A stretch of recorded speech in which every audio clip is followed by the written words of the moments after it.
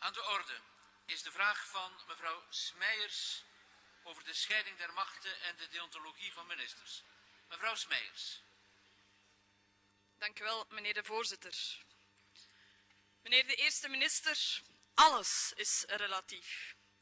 Ook de belerende en uit de context gerukte tussenkomsten van de oppositie van daarnet. Maar dat debat hebben we gehad.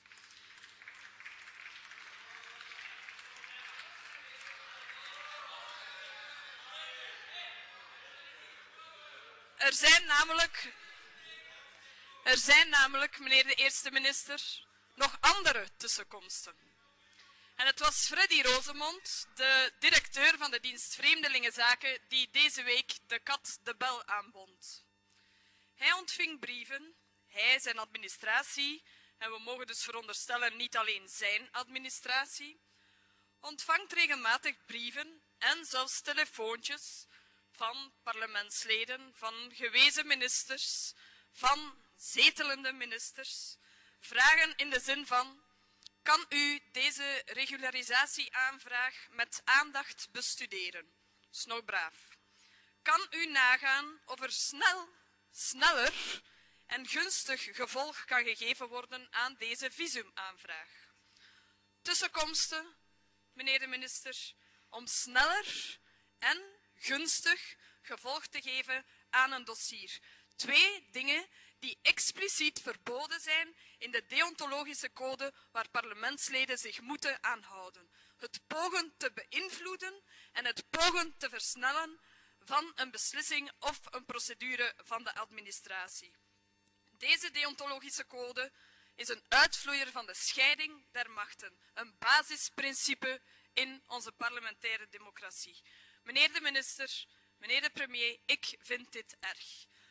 Burgers mogen ons uiteraard vragen stellen. Dat is hun recht. En politici mogen en moeten de burgers informeren, wegwijs maken en in contact brengen met de juiste diensten. Maar het is de plicht van parlementsleden om ver weg te blijven van individuele inmengingen. Iedereen verliest bij die praktijken. De burger krijgt de indruk dat niet iedereen gelijk behandeld wordt en dat vriendjespolitiek nog altijd welig tiert. De politici, wij allemaal, komen in een slecht daglicht te staan. En het vertrouwen in ons, dat eigenlijk al niet erg groot is, wordt nog kleiner. En het dossier zelf loopt vertraging op omdat de administratie zich moet bezighouden met het beantwoorden van vragen die niet ter zake doen, in plaats van met het dossier zelf te kunnen bezig zijn. Meneer de eerste minister, ik had graag hierover uw mening gekend, uw visie gekend en de vraag of u eventueel bereid bent actie te ondernemen tegen deze praktijken. Dank u wel, meneer de eerste minister. Meneer de, de voorzitter, geachte collega's. Uh, ik was inderdaad geïnformeerd uh, dat deze initiatieven uh, bestaan. En ik wil duidelijk herhalen dat gelijke behandeling een basisprincipe de rechtsstaat is. Dat is een fundamentele principe. En deze praktijken van het verleden, volgens mij, ik, ik noem, ik gebruik het woord, een vorm van clientelisme, zijn helemaal niet aanvaardbaar. Van de ene kant voor de parlementsleden zijn er deontologische code uh, in de parlementen. En dat is belangrijk de regels te herhalen wat dit betreft. En wat de ministers betreft, er moet ook deontologische regels zijn voor hen. Daarom ben ik van plan uh, deze punt op de orde van de dag van een uh, volgende overlegcomité uh, in te schrijven. En ik ga zeer duidelijk deze boodschap geven. Dat is niet aanvaardbaar. Dat is een vorm van clientelisme. Dat zijn praktijken van het verleden. En een initiatief om een individuele administratieve beslissing te beïnvloeden is helemaal niet aanvaardbaar. Dat is evident voor mij. Wel, mevrouw Smeijers.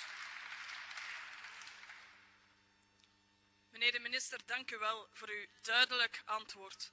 Het is inderdaad zo, parlementsleden, oei, iemand voelt zich geraakt, parlementsleden moeten doen waarvoor ze verkozen zijn. Wetten stemmen in het algemeen belang. Ze hebben de macht, wij hebben de macht om regels te veranderen via parlementaire weg of door de regering te controleren en te ondervragen. De regering, niet de administratie die voor die regering werkt. De scheiding tussen wetgevend, uitvoerend en rechterlijke macht is heel dun. Dat weten we allemaal. In apenlanden Allez, allez. Laissez parler Madame Smeyers. Meneer de staatssecretaris kan niet reageren omdat in Ayons la zit. politesse Ja, tot daar de onze s'écouter. betrokkenheid. In apenlanden, meneer de eerste minister, wordt die, dat principe van scheiding der machten met voeten getreden. Ik hoop dat wij allemaal zullen bewijzen dat we niet in een apenland willen wonen. Ik dank u. Dank u wel, het incident is gesloten.